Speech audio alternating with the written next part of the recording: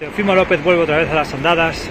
Ahora resulta ser que quiere nada menos que a Terence Crawford y dice que tal vez sea una propuesta para 147 libras. Aquí empezamos. So, Teofimo López estaba diciendo para The Boxing Boys que esa es una pelea que le gustaría si se presenta, eso es para empezar. no? Dicen que es una buena pelea si se presenta, significa que, ok, voy a llamar a Terence Crawford, pero si se presenta haría la pelea, pero él sí estaba llamando para pelear a Terence Crawford. Es una razones porque él decía que no quería unificar contra Regis Progress y contra Devin Haney porque hay una pelea con Terence Crawford. Fuera de eso también acusó a Terence Crawford y dijo que él solo enfrenta contra boxeadores que están en mala condición física. Primera vez que escucho eso en toda la carrera de Crawford se le acusaba de otras cosas, pero no de que enfrentaba contra boxeadores que estaban en mala condición física, se le acusaba de que no enfrentaba contra buena oposición pero Teofimo López, él decía que esa es la pelea que él quiere. Pero, ¿por eso de verdad queréis que eso es verdad? A ver, seamos un poco realistas. No tiene mucho sentido que Teofimo López diga que Terence Crawford ha enfrentado contra boxeadores con problemas físicos como José Benavidez y también Errol Spence Jr. que tenía un problema en el ojo. Y luego él quiere enfrentarse contra Terence Crawford ¿Cuál es el propósito de enfrentarse contra Terence Crawford cuando tú estás diciendo que se está enfrentando contra boxeadores que van lisiados? No tiene ningún sentido. Entonces no es una buena posición para ti, según tú. A mí no tiene sentido. Primero, la posición de Teofimo López no tiene mucho sentido. ¿Por qué? Porque primero, Terence Crawford no es el que suele ganar más dinero. Es un boxeador que se le paga bastante poco en comparación con otros boxeadores. Si lo pensáis de verdad, la pelea con Errol Spence fue una pelea de unificación muy importante. La segunda es porque you Teofimo López al final del día tiene a boxeadores como Devin Haney en su división y quería supuestamente una pelea o estaba hablando mal de Regis Progress y nunca lo hizo. Y de verdad nunca ha enfrentado contra ningún boxeador negro de Estados Unidos en ninguna de las dos categorías en la que ha estado.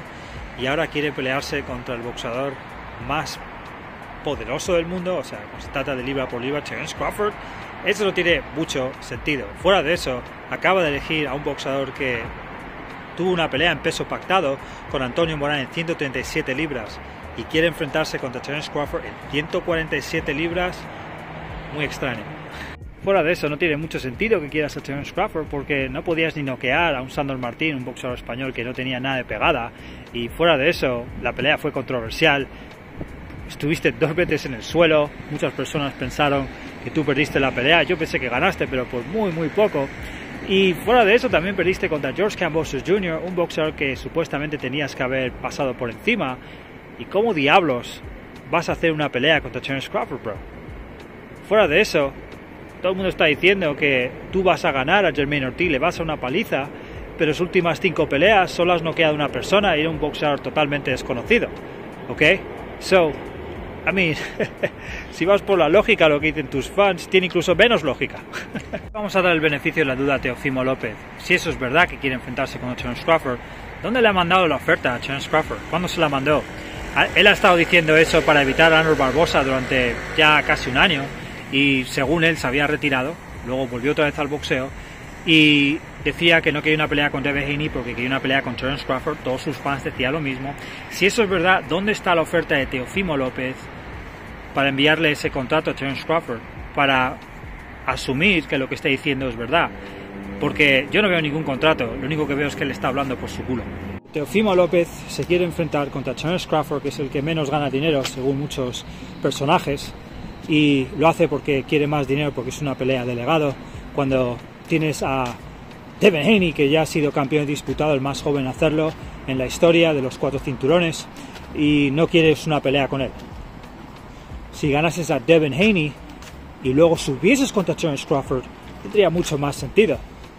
Pero si te enfrentas contra Jermaine Ortiz, y eso es lo que tú dices que es una gran pelea, un boxer que ni siquiera está en tu división, es que es muy difícil de creer. Pero vamos a asumir que los fans de Teofimo López tienen algo de cerebro. Eh, ¿No sería mejor probarte contra Devin Haney primero, que tiene menos pegada, y luego ver cómo haces con Haney para luego enfrentarte contra Terence Crawford? ¿No sería eso estratégicamente más inteligente si tienes algo de cerebro? Porque Terence Crawford tiene pegada. Terence Crawford hizo mucho daño a Errol Spence Jr. Mikey García, que venía de una división más abajo y subió contra Errol Spence, no pudo hacerle cosquillas. Y vino aquí Terence Crawford y se lo fumó vivo. ¿No sería un poco más inteligente intentarlo con Haney primero? you know, cerebro. También Teofimo López estaba acusando en su guerra de Twitter a Terence Crawford diciendo que él no quiere pelear contra Jaron Ennis. Pero, actually, Terence Crawford le envió dos contratos, dos ofertas a Jaron Ennis y eso pasó por nada menos que Blue Blood Sports TV. Él lo confirmó porque él está asociado con el equipo de Crawford y yo también conozco al equipo de Crawford también y sí le enviaron dos ofertas a Jaron Ennis. Jaron Ennis en ese momento no quiso la pelea, so, nada más que decir. Pero si vamos a hablar de eso, eh, entonces Teofimo López ¿Cuántas ofertas le mandaste actually a Devin Haney? Eh, 10 millones al principio, dijiste eso a Eddie Hearns hace dos años y ahora aquí es 20 millones cuando tú solo generas nada menos que 3 millones, 3.5 millones.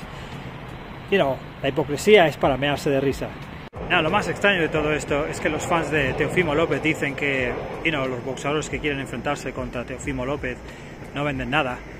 Pero lo más curioso de todo es que son de Honduras y los hondureños no compran pay-per-views, la, mayoría son pobres y yo generalmente suelo donar en UNICEF o solía donar en UNICEF para ayudarles un poco en su situación económica porque you know, siempre quiero ayudar un poco. Y ellos se están quejando de que you know, Teofimo López es la gran cosa, pero ellos no compran pay-per-view de Teofimo López. So, ¿Quién está comprando pay-per-view de Teofimo López?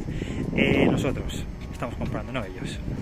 Otro factor importante también es que Teofimo López no es hondureño de verdad, es de Estados Unidos. Y eso es probablemente la razón por la que está generando un poco de dinero en comparación con otros boxeadores latinos, porque mayoría de boxeadores latinos no ganan casi nada.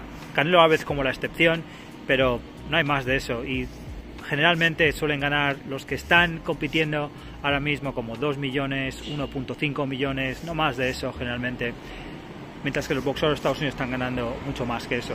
So, esto es muy interesante porque si Teofimo López es de Estados Unidos. Esa es la razón por la que Ashley compra pay-per-views, porque hay personas latinas que les gustan boxeadores de Estados Unidos. Pero los hondureños no están participando en nada. Él mismo dice que es hondureño, pero honestamente él no va a regalar sus títulos a Honduras, se los va a dar a Estados Unidos porque de Estados Unidos es, es de este país, dice Yankee, como yo.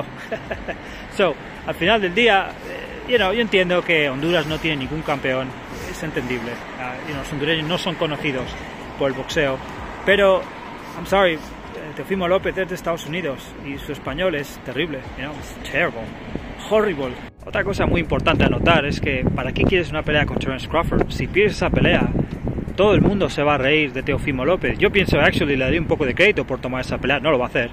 Pero si perdiese contra Terence Crawford, todo el mundo se ría de él. Y todo el mundo se ría de sus fans. So, es mejor prepararse un poco antes de hablar mierda, porque Terence Crawford yo no recomendaría ningún 140 libras enfrentándose ahora mismo con la Terence Crawford. No tendría nada de sentido esa pelea. No tendría nada de sentido. So, yo recomiendo que Teofimo López ahora mismo simplemente se enfoque en los boxeadores de su división y no se preocupe tanto de hablar de otros boxeadores con los que no va a enfrentar, porque no se va a enfrentar con Terence Crawford. Si pasa eso le daré crédito, pero es una locura y no tiene ningún sentido. Que limpie su división primero y ahí demostrará si de verdad es el mejor o no al final del día no es que odie a Teofimo López, no es que le quiera, es que simplemente las cosas que está haciendo son ridículas, tiene muchas peleas que puede hacer, podía haber hecho otras peleas en 135, la pelea con Devin ya tendría que haber pasado y ahora estamos hablando de Terence Crawford, right? Eso no tiene nada, nada de sentido. Y al final del día así es como es el boxeo, pero esperemos que Teofimo López no haga esa estupidez, porque le daré crédito por hacer esa estupidez. La día Mikey cuando subió contra Errol Spence Jr., pero después de eso Mikey se fue abajo y todos los boxers que hacen ese tipo de movidas se van abajo. Kill Bro cuando subió contra Triple G se fue abajo. Muchos boxadores que han subido se han ido abajo después de eso. Gennady Golovkin eh, nunca lo quiso hacer porque no era estúpido, right? No quería enfrentarse contra Andrew Ward a pesar de que habló mucha mierda y así es como va a quedar Teofimo López si ahora mismo no se enfrenta contra Terence Crawford, va a quedar como un hablador y en Estados Unidos todo el mundo se va a pensar que es un chase hater, cloud chaser. Significa que, you know, simplemente sigue una nube, pero no, no, hace más que eso, no se va a pelear con él. So, danos su like, suscríbete al mejor canal de boxeo español inglés y visita nuestra página web de para más información y más noticias. Uves, baby.